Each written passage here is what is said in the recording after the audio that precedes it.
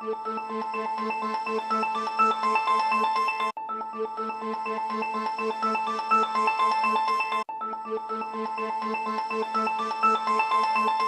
vous recevons pour une chaîne internet qui s'appelle la Thinkerview. Nous sommes en direct. Est-ce que vous pouvez vous présenter succinctement? Oui, bien sûr. Shadow Ombre, je reste dans l'ombre, c'est le concept. C'est pour cela que vous ne me voyez pas. Petit youtubeur tenant une chaîne du même nom, je traite sur celle-ci essentiellement des spiritualités nées à la fin du 19e siècle jusqu'à celle d'aujourd'hui. J'explique euh, les doctrines, l'histoire euh, de ces mouvements qui appartiennent au, New Age et qui se concrétisent aujourd'hui avec ceux qui se font appeler les coachs. J'étudie plus profondément l'anthroposophie qui, à mon sens, est extrêmement présente dans notre société sans même que l'on s'en rende compte. Je suis euh, plutôt content d'être là avec vous sur ce fauteuil. Bon, je comprends pas parce que je suis euh, loin du niveau des personnalités que vous invitez. J'ai regardé beaucoup de vos entretiens d'ailleurs. J'aime beaucoup le concept. Euh, J'ai notamment écouté avec attention l'entretien que vous avez mené avec l'ancien président de la NEF, la fameuse banque dite éthique, qui est plus que liée à l'anthroposophie, même s'ils ne le reconnaissent pas. Si je vous dis, ce n'est pas un signe de bonne santé que d'être bien adapté dans une société profondément malade.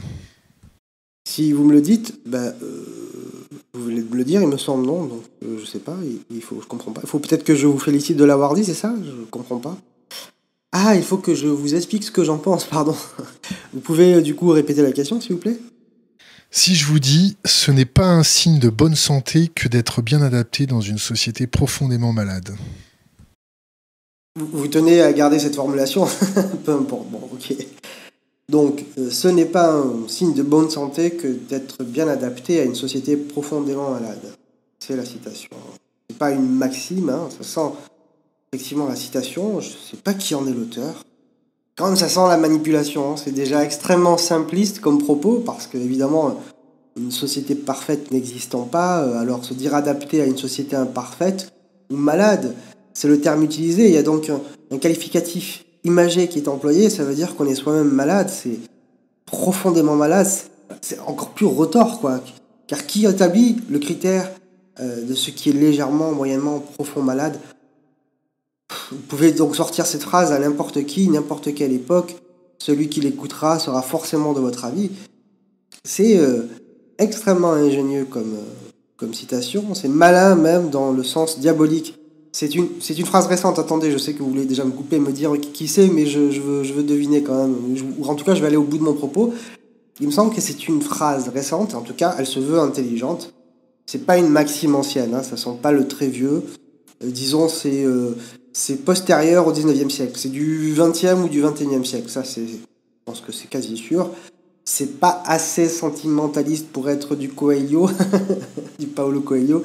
C'est soit une phrase toute faite de conspirationniste, utilisée en exergue des livres complotistes du type euh, Claire Sévrac, Salim Laibi ou autre, ou alors, attendez, attendez, je vais continuer, ou alors c'est une phrase de coach ou de bullshitter comme les définit Harry G. Frankfurt dans son excellent livre euh, L'art de dire des conneries. C'est pas un coach à la Samaris, qui est plutôt positif d'ailleurs, alors que cette phrase est négative. Bref, je ne sais pas de qui c'est, mais c'est une phrase très perverse, malsaine, il y a de mauvaises intentions derrière, et bien du coup, je vous demande, euh, pose la question, c'est de qui? Krishnamurti. Ah oui, d'accord, donc là, on est, on, est, on est face à un problème quand même. Hein. Et j'aimerais bien que vous ne me coupiez pas pendant ce que je vais dire là, parce que je sais que vous aimez faire ça. Et, euh... Krishnamurti. Oui, c'est bon, je pense que tout le monde a compris, j'ai compris, on a entendu. C'est Krishnamurti, vous n'allez pas me couper la parole quand même, comme ça à chaque fois, euh, chaque bout de phrase. Euh, parce que moi j'ai un esprit d'escalier un petit peu, et si vous me faites perdre le fil de la réflexion, je vais avoir du mal à le retrouver. Donc, si vous le faites en sachant, c'est que euh, c'est exprès et c'est malhonnête de votre part. C'est mal intentionné. Donc, laissez-moi aller jusqu'au bout, s'il vous plaît. Euh, là, on est face à un problème. Je savais bien qu'il y avait quelque chose de, de malsain. Je, je, parlais de coach, et là, on a affaire sans doute, à mon sens, au premier coach de l'histoire. Un manipulateur, donc. Et le souci, chez Thinkerview, c'est que vous l'aimez bien. Je sais que vous le recommandez régulièrement. C'est une référence pour vous. Mais pour moi, sa pensée, et même ce que l'on raconte de lui, c'est une escroquerie New Age. C'est votre droit d'y croire, mais vous me demandez ce que j'en pense, donc je vous le dis. Et d'ailleurs, je le crois même après euh, son acte courageux qui a consisté à Krishnamurti à se séparer de ses mentors de la société théosophique. Il n'a fait en fait pour moi qu'accomplir en réalité les buts qui étaient choisis par d'autres pour lui, euh, effectivement par ses mentors. Vous en parliez euh, avec le journaliste, comment il s'appelle, euh, Denis Robert. Lui aussi l'apprécie beaucoup, ce qui ne m'étonne pas, le connaissant. Vous lui conseillez de lire d'ailleurs de l'éducation. Alors j'ai lu pas mal des ouvrages de Krishnamurti et celui-ci, comme les autres, sont d'un simplisme naïf et bête quoi. C'est de la spiritualité leader price, de l'éveil hard discount. C'est aussi euh, bon en qualité que Conversation avec Dieu de Walsh ou euh, les accords Toltec de Ruiz ou euh, le pouvoir du moment présent des Cartolets, de la spiritualité bas de gamme faite par pour des occidentaux qui veulent se libérer du dogme des religions et d'une autorité divine, prophétique, sainte, euh, avec une initiation de maître à disciple, et qui veulent par contre goûter au moment présent, mais par le matériel, avec l'impression que ils sont eux-mêmes des dieux, ils sont eux-mêmes uniques. Quoi. C'est, euh, on trouve la pensée de Krishnamurti au rayon de développement, spirituel de Cultura. Quoi. Et c'est fait pour s'augmenter en compétences, en fait. Pour, pour être plus compétent sur le marché, c'est de la spiritualité laïque. Parce que l'occidental aujourd'hui est pétri de l'idée illusoire qu'est la liberté. L'individualisme est poussé à un tel degré qu'il se sent toujours unique. Et ça, c'est affligeant. Euh, justement, Krishnamurti, je vous le dis comme je le pense, et je sais que vous avez envie de me couper, mais vous n'allez pas le faire, sinon je, m'en vais tout de suite. Krishnamurti, c'est du truisme, c'est du poncif pseudo-philosophique, parce qu'en plus d'être pseudo-spirituel, c'est pseudo-philosophique. C'est de la tautologie, ça caresse dans le sens du poil l'occidental en quête de spiritualité, mais qui s'accroche à son bon sens, donc à ses, propres limites euh, qui sont vraiment euh, étroites qui veut faire des syncrétismes quand ça lui plaît, qui veut faire un massage ayurvédique pour 50 euros la demi-heure, une séance de danse soufie dans une association à 100 euros par mois, qui achète des pierres magiques à poser à côté de ses bols tibétains, qui se fait des salades estivales de granules homéopathiques, qui tient pour grandiose le livre Les femmes viennent de Vénus et les hommes de Mars.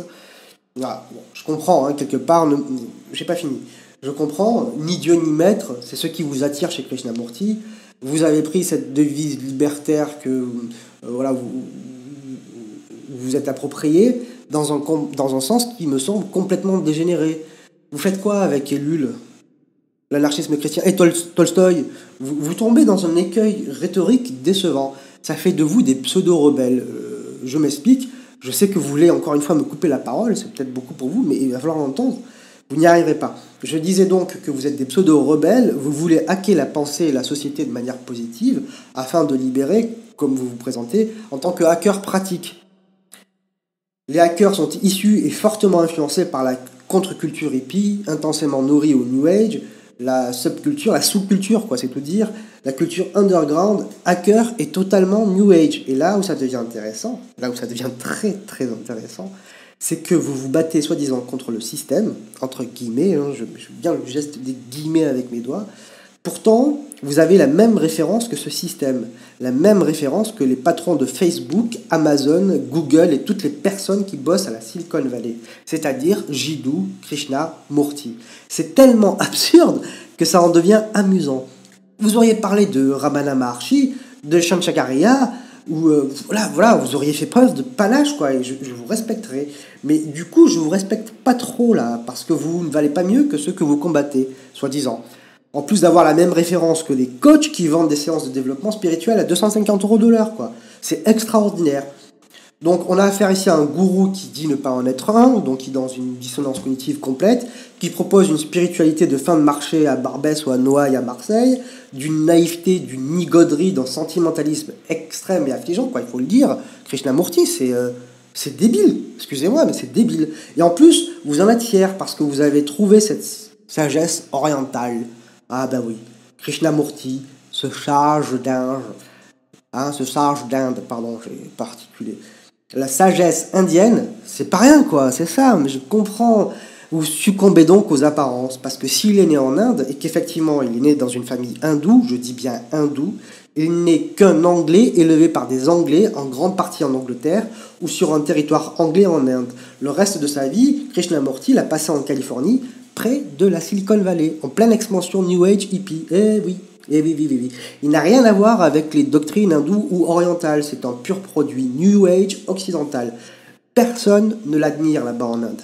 Il n'y est pas considéré comme un grand sage traditionnel. Il ne fait pas partie de la tradition. Mais il a bon, je veux dire, il a une bonne tête d'Indien. Il est tout menu, il a un accent, il a l'air, mais il n'a pas vraiment la chanson. et toute la Silicon Valley jure Prak Krishnamurti. Mais tout ça, ça vous suffit en fait. Alors, quelle est la prochaine étape chez Thinkerview? La promotion du végétarisme Mettre ses enfants dans une école Waldorf ou mieux encore dans une école Montessori Parce que Madame Montessori était une théosophiste et que Krishnamurti était annoncé comme le Maitreya par les théosophistes. Vous êtes tellement prévisible, tellement décevant, même si ça n'enlève en rien la qualité des personnes qui interviennent chez vous, quoi, le format, etc. Ça, je le remets pas en cause. Mais un conseil, limitez-vous à ça, quoi, et réfléchissez à deux fois avant de citer Krishnamurti, parce que là, vous vous, euh, vous, vous ridiculisez. D'ailleurs, pour vous aider à y réfléchir, tiens, je vais vous concocter une longue vidéo sur Krishnamurti, Rudolf Steiner et le New Age. Je vous jure, allez, je ne vois pas de raison, franchement, de rester plus longtemps. Je m'en vais, je me casse. À bientôt. Non, pas à bientôt. Euh, euh, ciao. Krishnamurti,